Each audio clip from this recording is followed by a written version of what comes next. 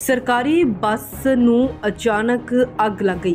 ਵੇਖਦੇ ਹੀ ਵੇਖਦਿਆਂ ਅੱਗ ਨੇ ਭਿਆਨਕ ਰੂਪ ਧਾਰ ਲਿਆ, ਜਿਸ ਨੂੰ ਮੌਕੇ ਤੇ ਰੋਡਵੇਜ਼ ਦਫ਼ਤਰ ਦੇ ਸਟਾਫ ਤੇ ਹੋਰ ਲੋਕਾਂ ਵੱਲੋਂ ਅੱਗ ਬੁਝਾਉਣ ਦੀ ਕੋਸ਼ਿਸ਼ ਕੀਤੀ ਗਈ ਹੈ। ਸੋ ਪੂਰਾ ਮਾਮਲਾ ਪੱਟੀ ਦਾ ਦੱਸਿਆ ਜਾ ਰਿਹਾ ਹੈ, ਜਿੱਥੇ ਪੰਜਾਬ ਰੋਡਵੇਜ਼ ਦੀ ਬੱਸ ਡਿਪੂ ਦੀ ਵਰਕਸ਼ਾਪ ਵਿੱਚ ਖੜੀ ਸੀ। ਦੱਸਿਆ ਹੀ ਜਾ ਰਿਹਾ ਹੈ ਕਿ ਰਾਜਪੁਰਾ ਤੋਂ ਚੱਲ ਕੇ ਇਹ ਬੱਸ ਰਾਤੀ ਪਹੁੰਚੀ ਸੀ ਤੇ ਵਰਕਸ਼ਾਪ ਦੇ ਵਿੱਚ ਖੜੀ ਸੀ।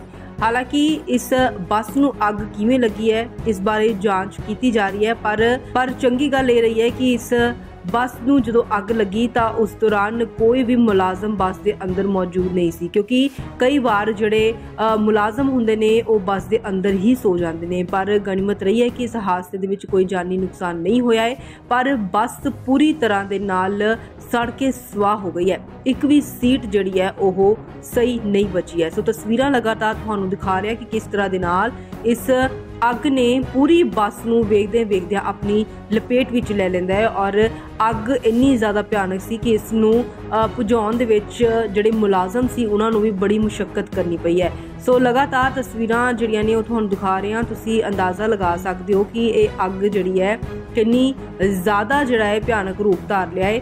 ਫਿਲਹਾਲ ਇਹ ਅੱਗ ਕਿਵੇਂ ਲੱਗੀ ਹੈ ਇਸ ਦੇ ਕਾਰਨਾਂ ਬਾਰੇ ਜਾਂਚ ਜਿਹੜੀ ਹੈ ਉਹ ਕੀਤੀ ਜਾ ਰਹੀ ਹੈ। ਪਰ ਪੱਟੀ ਡਿਪੂ ਦੀ ਵਰਕਸ਼ਾਪ 'ਚ ਇਹ ਪੰਜਾਬ ਰੋਡਵੇਜ਼ ਦੀ ਬੱਸ ਖੜੀ ਸੀ। ਦੱਸਿਆ ਜਾ ਰਿਹਾ ਹੈ ਕਿ ਰਾਜਪੁਰਾ ਤੋਂ ਇਹ ਬੱਸ ਆਈ ਸੀ ਔਰ ਵਰਕਸ਼ਾਪ ਤੇ ਖੜੀ ਕੀਤੀ ਗਈ ਸੀ ਔਰ ਮੁਲਾਜ਼ਮ ਜਿਹੜੇ ਸੀ ਉਹ ਚਲੇ ਗਏ ਸੀ, ਪਰ ਜਦੋਂ ਇਸ ਅੱਗ ਨੂੰ ਵੇਖਿਆ ਗਿਆ, ਬੱਸ ਨੂੰ ਜਦੋਂ ਅੱਗ ਲੱਗੀ, ਉਸ ਨੂੰ ਵੇਖਿਆ ਗਿਆ, ਤਾਂ ਜਿਹੜੇ ਉੱਥੇ ਲੋਕਲ ਜਿਹੜੇ ਸਟਾਫ ਸੀ ਵਰਕਸ਼ਾਪ ਸਟਾਫ ਦੇ ਲੋਕਲ ਜੋ ਮੁਲਾਜ਼ਮ ਸੀ, ਉੱਥੇ ਰਹਿੰਦੇ ਨੇ, ਉਹ ਉੱਥੇ ਪਹੁੰਚਦੇ ਨੇ ਤੇ ਪਾਣੀ ਦੀਆਂ ਬਾਲਟੀਆਂ ਦੇ ਨਾਲ ਅੱਗ ਨੂੰ ਭਜਾਉਣ ਦੀ ਕੋਸ਼ਿਸ਼ ਕਰਦੇ ਨੇ। ਪਰ ਇਸ ਅੱਗ ਨੂੰ ਭਜਾਉਣ ਦੇ ਵਿੱਚ ਬਹੁਤ ਸਮਾਂ ਲੱਗ ਗਿਆ, ਬਹੁਤ ਦੇਰੀ ਹੋ ਗਈ, ਤਦ ਤੱਕ ਪੂਰੀ ਅੱਗ ਜਿਹੜੀ ਹੈ, ਉਹ ਬੱਸ ਨੂੰ ਵਿੱਚ, ਪੇਟ ਵਿੱਚ ਲੈ ਲੈਂਦੀ ਹੈ ਔਰ ਬੱਸ ਪੂਰੀ ਤਰ੍ਹਾਂ ਸੜ ਕੇ ਸਵਾਹ ਹੋ ਜਾਂਦੀ ਹੈ।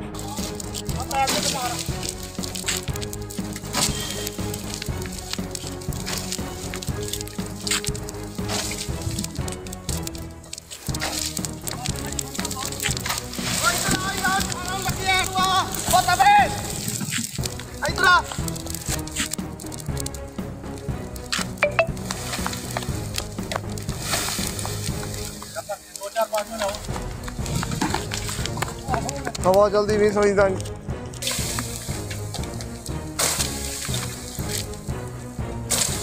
ਫਿਲਹਾਲ ਲਗਾਤਾਰ ਵਾਹਨਾਂ ਨੂੰ ਅੱਗ ਲੱਗਣ ਦੀਆਂ ਖਬਰਾਂ ਸਾਹਮਣੇ ਆ ਰਹੀਆਂ ਨੇ। ਤੋਂ ਕੁਝ ਦਿਨ ਪਹਿਲਾਂ ਚਲਦੀ ਐਕਟਿਵਾ ਨੂੰ ਅੱਗ ਲੱਗ ਗਈ ਸੀ। ਅੰਮ੍ਰਿਤਸਰ ਦੀ ਇਹ ਖਬਰ ਸੀ ਔਰ ਇੱਥੇ ਇਸ ਵਿੱਚ ਇੱਕ ਪਿਓ ਪੁੱਤ ਦੀ ਜਾਨ ਜਿਹੜੀ ਸੀ ਉਹ ਵਾਲ-ਵਾਲ ਬਚੀ ਸੀ ਔਰ ਇਸ ਤੋਂ ਪਹਿਲਾਂ ਵੀ ਕਈ ਅਜਿਹੇ ਵਾਹਨ ਨੇ ਜਿਨ੍ਹਾਂ ਨੂੰ ਚਲਦੇ ਵਾਹਨਾਂ ਨੂੰ ਅੱਗ ਲੱਗ ਗਈ ਹੈ। ਫਿਰ ਉਹਨਾਂ ਵਿੱਚ ਕਾਰ ਹੋਵੇ ਜਾਂ ਬੱਸ ਹੋਵੇ।